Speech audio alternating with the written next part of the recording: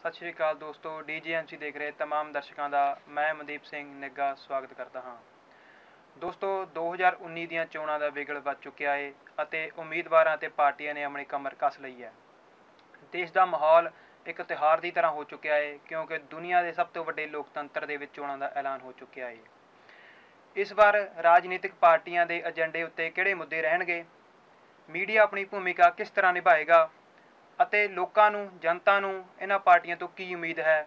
ਇਸ ਬਾਬਤ ਵਿਚਾਰ ਚਰਚਾ ਕਰਨ ਦੇ ਲਈ ਅਸੀਂ ਆਪਣੇ ਸਟੂਡੀਓ ਦੇ ਵਿੱਚ ਵਿਸ਼ੇਸ਼ ਤੌਰ ਤੇ ਕੁਝ ਖਾਸ ਮਹਿਮਾਨਾਂ ਨੂੰ ਸੱਦਾ ਦਿੱਤਾ ਹੈ। ਆਓ ਪਹਿਲਾਂ ਮੈਂ ਤੁਹਾਡਾ ਉਹਨਾਂ ਦੇ ਨਾਲ ਰਾਬਤਾ ਕਰਾ ਦਿਆਂ।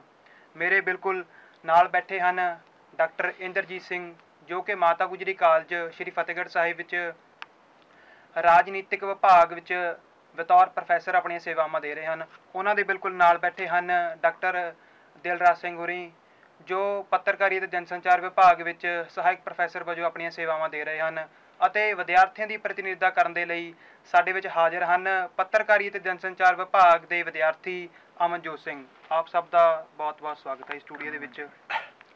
ਅਸੀਂ ਆਪਣੀ ਵਿਚਾਰ ਚਰਚਾ ਦੀ ਸ਼ੁਰੂਆਤ ਡਾਕਟਰ ਸਾਹਿਬ ਹੋਰਾਂ ਤੋਂ ਕਰਾਂਗੇ। ਡਾਕਟਰ ਇੰਦਰਜੀਤ ਸਿੰਘ ਜੀ 2019 ਚੋਣਾਂ ਦਾ ਬਿਗਲ ਵੱਜ ਚੁੱਕਿਆ ਹੈ ਅਤੇ ਇਸ ਵਾਰ ਕੀ ਏਜੰਡੇ ਰਾਜਨੀਤਿਕ ਪਾਰਟੀਆਂ ਦੇ ਹੋਣਗੇ? ਕਿਹੜੇ ਏਜੰਡੇ ਨੂੰ ਲੈ ਕੇ ਰਾਜਨੀਤਿਕ ਪਾਰਟੀਆਂ ਲੋਕਾਂ ਤੋਂ ਵੋਟਾਂ ਮੰਗਣਗੀਆਂ? ਦੇਖੋ ਜੀ, ਜੋ ਐਟ ਪ੍ਰੈਜ਼ੈਂਟ ਸਿਨੈਰੀਓ ਹੈਗਾ ਇਲੈਕਸ਼ਨ ਦਾ, ਜਿਹੜਾ ਮੈਨੂੰ ਲੱਗਦਾ ਕਿ ਮੇਨ ਮੁੱਦਾ ਰਹੇਗਾ, ਸਾਰੀਆਂ ਪੋਲੀਟੀਕਲ ਪਾਰਟੀਆਂ ਦਾ, ਉਹ ਪਹਿਲਾਂ ਤਾਂ ਅਨਇੰਪਲੋਇਮੈਂਟ ਰਹੇਗਾ। ਕਿਉਂਕਿ ਜੋ ਡਾਟਾ ਆ ਰਿਹਾ, ਅੰਕੜੇ ਆ ਰਹੇ ਨੇ, ਉਹ ਇੱਕ ਵੱਡਾ ਮੁੱਦਾ ਮਿਲੇਗਾ, ਖਾਸ ਤੌਰ ਤੇ ਆਪੋਜੀਸ਼ਨ ਪਾਰਟੀ ਨੂੰ, ਦੇ ਲਈ। ਤੇ ਇਹਦੇ ਨਾਲ ਨਾਲ ਜਿਹੜਾ ਇੱਕ ਪਹਿਲਾਂ ਵੀ ਚੱਲਦਾ ਆ ਰਿਹਾ, ਉਹ ਅਗੇਰੀਅਨ ਕ੍ਰਾਈਸਿਸ ਦਾ ਹੈਗਾ। ਫਾਰਮਰ ਸੁਸਾਈਡ ਉਹਦੇ ਨਾਲ ਉਹ ਫਾਰਮ ਲੋਨ ਵੇਵਰ ਦਾ ਜਿਹੜਾ ਹੈਗਾ, ਜਿਹੜੀ ਪੋਪੂਲਿਜ਼ਮ ਦੀ ਪੋਲਿਟਿਕਸ ਹੈਗੀ ਆ, ਉਹ ਮੁੱਦੇ ਵੀ ਇਹਦੇ 'ਚ ਮੈਨੂੰ ਲੱਗਦਾ ਪਹਿਲਾਂ ਦੀ ਇਲੈਕਸ਼ਨ ਦੇ ਵਾਂਗ ਹੀ ਰਹਿਣਗੇ, ਕਿਉਂਕਿ ਲਾਸਟ ਅਸੀਂ ਜਿਹੜੀਆਂ ਰੀਸੈਂਟ ਇਲੈਕਸ਼ਨ ਹੋਈਆਂ, ਉਹਨਾਂ ਦੇ ਵਿੱਚ ਇਹਨਾਂ ਦਾ ਇੰਪੈਕਟ ਦਿਖਿਆ ਹੈਗਾ।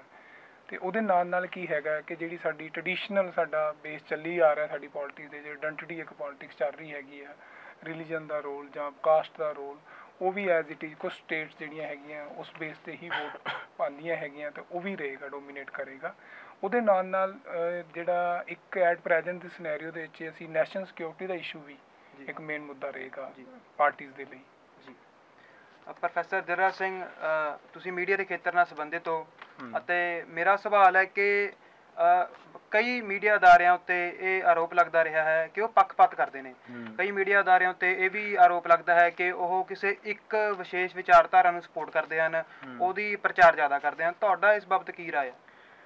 ਪਹਿਲੀ ਗੱਲ ਇਹ ਹੈ ਕਿ ਜੋ ਇਹ ਚੀਜ਼ ਨਾਲ ਮੈਂ ਸਹਿਮਤ ਹਾਂ ਕਿ ਮੀਡੀਆ ਜਿਹੜਾ ਉਹ ਆਪਣੇ ਜਿਹੜੇ ਸਾਡੇ ਬੁਨਿਆਦੀ ਢਾਂਚਾ ਇਹ ਕਿ ਆਪਾਂ ਬੇਆਵਾਜ਼ ਲੋਕਾਂ ਦੀ ਆਵਾਜ਼ ਆ ਉਹਦੇ ਤੋਂ ਭਟਕ ਚੁੱਕਿਆ ਆ ਪਰ ਫਿਰ ਵੀ ਆਪਾਂ ਕਿਉਂਕਿ ਮੀਡੀਆ ਦੇ ਵੀ ਤਿੰਨ ਪਾਰਟ ਨੇ, ਪ੍ਰਿੰਟ ਮੀਡੀਆ ਹੈ ਇਲੈਕਟ੍ਰੋਨਿਕ ਮੀਡੀਆ ਹੈ ਡਿਜੀਟਲ ਮੀਡੀਆ। ਹੈ ਤੇ ਪ੍ਰਿੰਟ ਮੀਡੀਆ ਵਿੱਚ ਫਿਰ ਵੀ ਹਜੇ ਆਸ ਬਾਕੀ ਹੈ।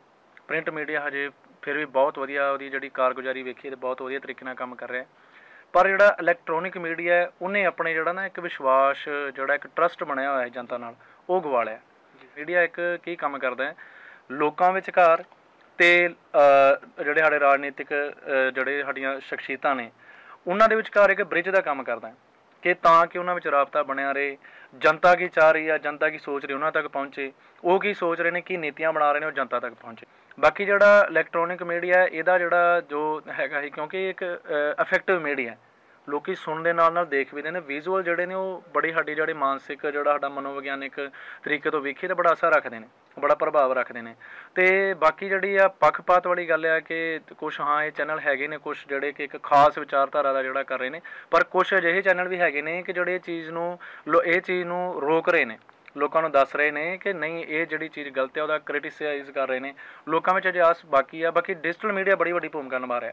ਉਹ ਇਹ ਇਹੋ ਜਿਹੀਆਂ ਜਿਹੜੀਆਂ ਨੀਤੀਆਂ ਨੇ ਜਾਂ ਜਿਹੜੇ ਵੀ ਇਹੋ ਜਿਹਾ ਏਜੰਡਾ ਲੈ ਕੇ ਚੱਲ ਰਹੇ ਨੇ, ਜਾਂ ਕੁਝ ਲੋਕਾਂ ਨੂੰ ਜਿਹੜਾ ਹੈ, ਇਹੋ ਜਿਹੀ ਗਲਤ ਇਨਫੋਰਮੇਸ਼ਨ ਦੇ ਮਿਸ ਇਨਫੋਰਮੇਸ਼ਨ ਦੇ ਰਹੇ ਨੇ ਮਿਸਗਾਈਡ ਕਰ ਰਹੇ ਨੇ, ਉਹਨੂੰ ਰੋਕਣ ਦੇ ਵਿੱਚ ਜਿਹੜਾ ਹੈ, ਕਈ ਚੈਨਲਾਂ ਦੀ ਬੜੀ ਵੱਡੀ ਭੂਮਿਕਾ ਹੈ।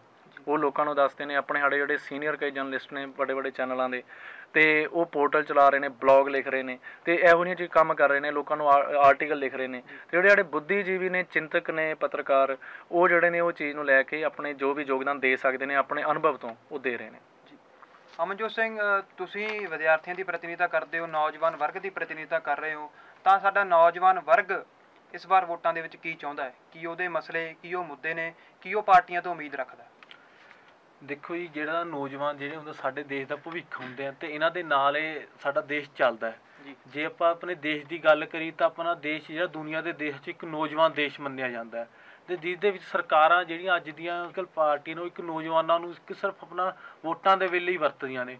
ਵੋਟਾਂ ਦੇ ਵੇਲੇ ਉਹਨਾਂ ਨੂੰ ਬਸ ਰੈਲੀਆਂ ਦੇ ਵਿੱਚ ਜਾਂ ਕਿਸੇ ਹੋਰ ਲਾਲਚ ਦੇ ਕੇ ਵੱਖ-ਵੱਖ ਮੁੱਦਿਆਂ ਤੇ ਭੜਕਾ ਕੇ ਉਹਨਾਂ ਨੂੰ ਉਹਨਾਂ ਤੋਂ ਆਪਣੀ ਵੋਟਾਂ ਲੈ ਲੈਂਦੇ ਪਰ ਉਹਨਾਂ ਦੇ ਅਸਲੀ ਵਾਅਦੇ ਪੂਰੇ ਨਹੀਂ ਕਰਦੇ ਜਿਵੇਂ ਕਿ ਨੌਜਵਾਨਾਂ ਨੂੰ ਆਪਣੇ ਪਿੱਛੇ ਲਾਇਆ ਤੇ ਕਈ ਤਰ੍ਹਾਂ ਦੇ ਇਹ ਜੇ ਲਾਲਚ ਦਿੰਦੇ ਆ ਵੀ ਜਿਹੜੇ ਕਿ ਨੌਜਵਾਨਾਂ ਨੂੰ ਲੋੜ ਨਹੀਂ ਹੈ ਉਹ ਚੀਜ਼ਾਂ ਦੀ। ਇਹ ਰੁਜ਼ਗਾਰ ਪੈਦਾ ਕਰਨ ਦੀ ਜਗ੍ਹਾ ਉਹਨਾਂ ਨੂੰ ਲਾਲਚ ਦੇ ਵਿੱਚ ਫਸਾ ਕੇ ਨੌਜਵਾਨਾਂ ਨੂੰ ਆਪਣੇ ਵੋਟਾਂ ਹਾਸਲ ਕਰਦੇ ਹਨ। ਤੇ ਇਸ ਤੇ ਸਰਕਾਰਾਂ ਨੂੰ ਅਤੇ ਨੌਜਵਾਨਾਂ ਨੂੰ ਚਾਹੀਦਾ ਕਿ ਨੌਜਵਾਨ ਰ- ਜਾਗਰੂਕ ਹੋਣ। ਵੱਧ ਤੋਂ ਵੱਧ ਤੇ ਲੀਡਰ ਜੇ ਕੋਈ ਘਰੇ ਆਂਦਾ, ਉਹਨਾਂ ਦੇ ਵੋਟ ਮੰਗਣ, ਤਾਂ ਉਹਨਾਂ ਨੂੰ ਪਹਿਲਾਂ ਉਹਨਾਂ ਦੇ ਵਾਅਦੇ ਪੁੱਛਣ ਮੈਨੀਫੈਸਟੋ ਬਾਰੇ ਪੁੱਛਣ ਵੀ ਤੁਸੀਂ ਪਿਛਲੀ ਵਾਰ ਜਿਹੜਾ ਮੈਨੀਫੈਸਟੋ ਜਾਰੀ ਕੀਤਾ ਸੀ ਕਿ ਤੁਸੀਂ ਵਾਅਦੇ ਪੂਰੇ ਕਰਤੇ ਕਿ ਨਹੀਂ? ਤੇ ਉਹਨਾਂ ਨੂੰ ਪੁੱਛਣ ਵੀ ਹੁਣ ਇਹਨਾਂ 'ਚ ਕੀ ਫ਼ਰਕ ਆ ਮੈਨੀਫੈਸਟੋ 'ਚ? ਹੁਣ ਵੀ ਮੈਨੀਫੈਸਟੋ ਉਹੀ ਹੁੰਦਾ ਤੇ ਪਿਛਲੀ ਵਾਰ ਵੀ ਉਹੀ ਤਾਂ। ਤੇ ਮੇਰੀ ਤਾਂ ਇਹੀ ਹੈ, ਮੰਗ ਹੈ ਵੀ ਨੌਜਵਾਨ ਵੱਧ ਤੋਂ ਵੱਧ ਜਾਗਰੂਕ ਹੋਣ, ਸਵਾਲ ਕਰਨ ਇੱਕ ਤਰ੍ਹਾਂ ਦਾ। ਡਾਕਟਰ ਸਾਹਿਬ, ਜਿੱਦਾਂ ਕਿ ਅਮਨਜੋਤ ਉਹਨਾਂ ਨੇ ਮੈਨੀਫੈਸਟੋ ਦੀ ਗੱਲ ਕੀਤੀ ਆ ਤਾਂ ਮੇਰਾ ਅਗਲਾ ਸਵਾਲ ਮੈਨੀਫੈਸਟੋ ਦੇ ਨਾਲ ਜੁੜਦਾ ਏ। ਕਿ ਪਾਰਟੀਆਂ ਵੋਟਾਂ ਵੇਲੇ ਆਪਣਾ ਮੈਨੀਫੈਸਟੋ ਜਾਰੀ ਕਰਦੀਆਂ ਨੇ ਕਿ ਅਸੀਂ ਅਗਲੇ 5 ਸਾਲਾਂ ਦੇ ਵਿੱਚ ਇਹ ਕੰਮ ਕਰਾਂਗੇ, ਇਹ ਕੰਮ ਕਰਾਂਗੇ। ਪਰ ਅਕਸਰ ਦੇਖਣ ਨੂੰ ਮਿਲਦਾ ਤੇ ਸਰਕਾਰਾਂ ਦੇ ਦੂਸ਼ਣ ਵੀ ਲਾਏ ਜਾਂਦੇ ਨੇ ਕਿ ਉਹ ਆਪਣੇ ਮੈਨੀਫੈਸਟੋ ਦੇ ਵਿੱਚ ਕੀਤੇ ਗਏ ਵਾਅਦੇ ਪੂਰੇ ਨਹੀਂ ਕੀਤੇ। ਕੀ ਇਹ ਮੈਨੀਫੈਸਟੋ ਜੋ ਸਰਕਾਰਾਂ ਦੇ ਕੀਤੇ ਗਏ ਵਾਅਦੇ ਨੇ, ਇਹ ਲੀਗਲ ਡਾਕੂਮੈਂਟ ਹੋਣਾ ਚਾਹੀਦਾ ਹੈ? ਕੀ ਇਹਨੂੰ ਇੱਕ ਲੀਗਲ ਡਾਕੂਮੈਂਟ ਦੀ ਤਰ੍ਹਾਂ ਮੰਨਣਾ ਚਾਹੀਦਾ ਹੈ? ਜੇਕਰ ਵਾਅਦੇ ਸਰਕਾਰਾਂ ਨਹੀਂ ਪੂਰੇ ਕਰਦੀਆਂ, ਤਾਂ ਉਹਨਾਂ ਦੀ ਸਰਕਾਰ ਭੰਗ ਕੀਤੀ ਜਾਵੇ। ਇਸ ਤਰ੍ਹਾਂ ਦਾ ਕੋਈ ਕਾਨੂੰਨ ਦੇਖੋ, ਤੁਹਾਡਾ ਬੜਾ ਵਧੀਆ ਕੁਐਸਚਨ ਹੈ ਰੈਲੇਵੈਂਟ ਹੈਗਾ ਇਨ ਦੀ ਪ੍ਰੈਜ਼ੈਂਟ ਜਿਹੜਾ ਆਪਣਾ ਕੰਟੈਕਸਟ ਹੈਗਾ। ਐਕਚੁਅਲੀ ਕੀ ਹੈਗਾ, ਆਪਾਂ ਇਲੈਕਸ਼ਨ ਮੈਨੀਫੈਸਟੋ ਦੀ ਗੱਲ ਕਰ ਰਹੇ ਹਾਂ, ਸਾਰੇ ਅਸੀਂ ਵਰਲਡ ਨੂੰ ਇਹਨੂੰ ਧਿਆਨ 'ਚ ਰੱਖੀਏ ਤਾਂ ਰਿਪਰੈਜ਼ੈਂਟੇਟਿਵ ਡੈਮੋਕ੍ਰੇਸੀ ਆ। ਉਹਦੇ 'ਚ ਇਲੈਕਸ਼ਨ ਮੈਨੀਫੈਸਟੋ ਦਾ ਬਹੁਤ ਵੱਡਾ ਰੋਲ ਆ, ਕਿਉਂਕਿ ਪੋਲੀਟੀਕਲ ਪਾਰਟੀਆਂ ਤੁਹਾਨੂੰ ਰਿਪਰੈਜ਼ੈਂਟ ਕਰਦੀਆਂ। ਉਹ ਆਪਣੇ ਪ੍ਰੋਗਰਾਮ ਦੱਸਦੀਆਂ। ਬਟ ਜੇ ਇਹਨੂੰ ਅਸੀਂ ਦੇਖੀਏ ਫੋਰਨ ਦੇ ਕੰਟੈਕਸਟ ਦਾ, ਉੱਥੇ ਬਹੁਤ ਰੈਲੇਵੈਂਟ ਹੈ ਕਿਉਂਕਿ ਉੱਥੇ ਇਲੈਕਸ਼ਨ ਮੈਨੀਫੈਸਟੋ ਨੂੰ ਪੜ੍ਹਿਆ ਜਾਂਦਾ, ਉਹਨੂੰ ਸਮਝਿਆ ਜਾਂਦਾ, ਪੂਰਾ ਧਿਆਨ 'ਚ ਰੱਖਿਆ ਜਾਂਦਾ ਹੈਗਾ। ਪਾਰਟੀਆਂ ਉਹਨੂੰ ਬੜੇ ਧਿਆਨ ਨਾਲ ਤਿਆਰ ਕਰਦੀਆਂ ਤੇ ਲੋਕ ਵੀ ਉਹਨੂੰ ਇੱਕ ਮੈਂਡੇਟ ਦਿੰਦੇ ਹੈਗੇ ਆ ਉਸ ਬੇਸ ਦੇ ਉੱਤੇ। ਇੱਕ ਮੈਂਡੇਟ ਸਿਸਟਮ ਚੱਲਦਾ ਇੰਗਲੈਂਡ ਤੇ ਗੱਲ ਕੀਤੀ ਜਾਂਦੀ ਆ ਕਿ ਉਹ ਅਗਰ ਜੋ ਉਹਨਾਂ ਨੇ ਲੋਕਾਂ ਦੇ ਸਾਹਮਣੇ ਜੋ ਪਾਲਿਸੀ ਰੱਖੀ ਆ ਕੱਲ ਨੂੰ ਜਦੋਂ ਉਹਨਾਂ ਨੇ ਆਪਣੀ ਗਵਰਨਮੈਂਟ ਬਣਾਣੀ ਆ ਤਾਂ ਉਹੀ ਪਾਲਿਸੀਆਂ ਅਪਣਾਉਣੀਆਂ। ਉਹ ਐਸੀ ਕੋਈ ਪਾਲਿਸੀ ਨਹੀਂ ਬਣਾ ਸਕਦੇ ਜਿਹੜੀ ਉਹਨਾਂ ਨੇ ਮੈਂਡੇਟ ਨਹੀਂ ਲਿਆ ਹੈਗਾ। ਬਟ ਜਦੋਂ ਅਸੀਂ ਇੰਡੀਅਨ ਕੰਟੈਕਸਟ ਦੀ ਗੱਲ ਆਉਂਦੇ ਹਾਂ ਤਾਂ ਆਪਾਂ ਪਹਿਲਾਂ ਧਿਆਨ ਨਾਲ ਦੇਖੀਏ ਆਪਣੇ ਇਲੈਕਸ਼ਨ ਮੈਨੀਫੈਸਟੋ ਨੂੰ ਕਿੰਨੇ ਕੁ ਜਾਣੇ ਪੜ੍ਹਦੇ ਆ ਆਪਾਂ? ਆਪਾਂ ਜੋ ਘੱਟ ਪੜ੍ਹੇ ਲਿਖੇ ਉਹਨਾਂ ਦੀ ਗੱਲ ਛੱਡੀ ਆਪਾਂ ਪੜ੍ਹੇ ਲਿਖੇ ਲੋਕ ਵੀ ਕਿੰਨੇ ਕੁ ਇਲੈਕਸ਼ਨ ਮੈਨੀਫੈਸਟੋ ਨੂੰ ਪਾਰਟੀਆਂ ਨੂੰ ਸਟੱਡੀ ਕਰਦੇ ਆ ਪੜ੍ਹਦੇ ਆ। ਆਪਾਂ ਕੀ ਉਹਨਾਂ ਦੇ ਇੱਕ ਦੋ ਚਾਰ ਜਿਹੜੇ ਵਾਅਦੇ ਹੁੰਦੇ ਆ ਖਾਸ ਤੌਰ ਤੇ ਜਿਹੜੇ ਪਪੂਲਿਸਟ ਉਹਨਾਂ ਦੇ ਮਤਲਬ ਕਿ ਪ੍ਰੋਮਿਸਸ ਕਰਦੇ ਆ ਉਹੀ ਹਾਈਲਾਈਟ ਹੋ ਜਾਂਦੇ ਆ। ਪੁਰਾਣੇ ਸਮੇਂ ਤੋਂ ਚੱਲੇ ਆ ਰਹੇ ਆ ਗਰੀਬੀ ਹਟਾਓ ਹੁਣ ਮਤਲਬ ਕਿ ਕਰਜ਼ਾ ਮਾਫੀ ਦਾ ਆ ਗਿਆ ਤਾਂ ਇਦਾਂ ਦੇ ਵਾਅਦੇ ਆ ਜਾਂਦੇ ਆ। ਤਾਂ ਮੈਨੂੰ ਮੇਰਾ ਇਹ ਪਰਸਨਲ ਓਪੀਨੀਅਨ ਵੀ ਆ ਕਿ ਇਲੈਕਸ਼ਨ ਮੈਨੀਫੈਸਟੋ ਮਤਲਬ ਕਿ ਲੀਗਲ ਡਾਕੂਮੈਂਟ ਨਹੀਂ ਬਣਾਉਣਾ ਚਾਹੀਦਾ। ਕਿਉਂਕਿ ਜੇ ਅਸੀਂ ਸਾਰਾ ਕੁਝ ਲੀਗਲੀ ਕਰਵਾਉਣਾ ਹੈਗਾ, ਇਹਦੇ ਬਾਰੇ ਨਾ 2005 ਦੇ ਵਿੱਚ ਇੱਕ ਪੀਆਈਐਲ ਵੀ ਫਾਈਲ ਕੀਤੀ ਗਈ ਸੀ ਸੁਪਰੀਮ ਕੋਰਟ ਦੇ ਵਿੱਚ। ਤਾਂ ਸੁਪਰੀਮ ਕੋਰਟ ਨੇ ਵੀ ਮਨਾ ਕਰਤਾ ਸੀਗਾ ਕਿ ਇਹ ਲੀਗਲ ਡਾਕੂਮੈਂਟ ਨਹੀਂ ਬਣਾਇਆ ਜਾ ਸਕਦਾ। ਕਿਉਂਕਿ ਫਿਰ ਤਾਂ ਸਾਡੀ ਇੱਕ ਡੈਮੋਕ੍ਰੇਸੀ ਦੀ ਇੱਕ ਬਿਊਟੀ ਹੁੰਦੀ ਹੈ ਕਿ ਡੈਮੋਕ੍ਰੇਸੀ ਦੇ ਵਿੱਚ ਜੋ ਲੋਕ ਕੀ ਚਾਹੁੰਦੇ ਨੇ, ਉਹ ਉਹਨੂੰ, ਉਹਦੇ ਅਕੋਰਡਿੰਗ ਗਵਰਨਮੈਂਟ ਨੂੰ ਕੰਮ ਕਰਨਾ ਪੈਂਦਾ। ਅਗਰ ਨਹੀਂ ਕਰੇਗੀ ਤਾਂ ਲੋਕ ਉਹਦੇ ਅਗੇਂਸਟ ਜਾਣਗੇ। ਤਾਂ ਹੁਣ ਇੱਥੇ ਮੈਂਡੇਟ ਸਾਡੇ ਲੋਕਾਂ ਨੂੰ ਵਿਜੀਲੈਂਟ ਹੋਣਾ ਪਏਗਾ ਇਹਨੇ ਜਾਗਰੂਕ ਹੋਣਾ ਪਏਗਾ ਕਿ ਇਹ ਪਾਰਟੀ ਸੀਗੀ ਇਹਨਾਂ ਨੇ ਕਿਹੜੇ ਵਾਅਦੇ ਕੀਤੇ ਸੀ ਕੀ ਉਹ ਪੂਰੇ ਕੀਤੇ ਕਿ ਨਹੀਂ ਕੀਤੇ। ਜੇ ਉਹ ਲੋਕਾਂ ਦੀਆਂ ਇੱਛਾਵਾਂ ਅਨੁਸਾਰ ਜਾਂ ਆਪਣੇ ਮੈਨੀਫੈਸਟੋ ਦੇ ਅਕੋਰਡਿੰਗ ਵਾਅਦੇ ਪੂਰੇ ਨਹੀਂ ਕਰ ਆਈਆਂ ਅਗਲੀ ਵਾਰ ਲੋਕ ਉਹਨਾਂ ਦੇ ਅਗੇਂਸਟ ਜਾਣ। ਉਹਨਾਂ ਨੂੰ ਪਤਾ ਹੋਏ। ਤੇ ਜੇ ਪਾਰਟੀਆਂ ਨੂੰ ਆਪਣੇ ਆਪ ਮੈਂਡੇਟ ਦਾ ਡਰ ਹੋਏਗਾ ਕਿ ਮੈਂਡੇਟ ਸਿਸਟਮ ਚਲਾਉਣਾ ਪਏਗਾ ਨਾ ਕਿ ਅਸੀਂ ਨੂੰ ਲੀਗਲੀ ਕਰਨੀ ਲੀਗਲੀ ਤਾਂ ਸਾਡੇ ਪਹਿਲਾਂ ਵੀ ਬਹੁਤ ਕੁਝ ਹੈਗਾ। ਉਹਦੇ ਨਾਲ ਚੇਂਜ ਨਹੀਂ ਆਏਗਾ ਇਹ। ਜਿੱਥੇ ਪਾਰਟੀਆਂ ਕਿਸੇ ਲੋਕ ਨੇ ਜਿਹੜੇ ਉਹ ਕਿਸੇ ਪਾਰਟੀ ਨੂੰ ਚੋਣ ਜਿਤਾ ਸਕਦੇ ਨੇ ਤਾਂ ਉਹ ਕਿਸੇ ਸਰਕਾਰ ਨੂੰ ਖਰਾਬ ਹੀ ਕਰ- ਕਰ ਖਰਾਬ ਕਿਉਂਕਿ ਡੈਮੋਕ੍ਰੇਸੀ ਦੇ ਰੀਅਲ ਪਾਵਰ ਤਾਂ ਲੋਕਾਂ ਦੇ ਕੋਲ ਹੈ ਨਾ। ਠੀਕ ਹੈ ਨਾ ਹੁਣ ਅਸੀਂ ਇੰਗਲੈਂਡ ਦੀ ਮੈਂਡੇਟ ਸਿਸਟਮ ਦੀ ਗੱਲ ਕਰਦੇ ਹਾਂ ਅਗਰ ਉਹ ਉੱਥੇ ਇੰਗਲੈਂਡ ਦੇ ਵਿੱਚ ਸਟੈਬਲਿਸ਼ਡ ਟ੍ਰੈਡੀਸ਼ਨਸ ਨੇ ਉਹਨਾਂ ਦੀਆਂ ਕੋਈ ਪਾਰਟੀ ਉਹਦੇ ਅਗੇਂਸਟ ਜਾਂਦੀ ਹੈ ਤਾਂ ਉਹ ਲੋਕ ਖੜੇ ਹੋ ਜਾਂਦੇ ਆ।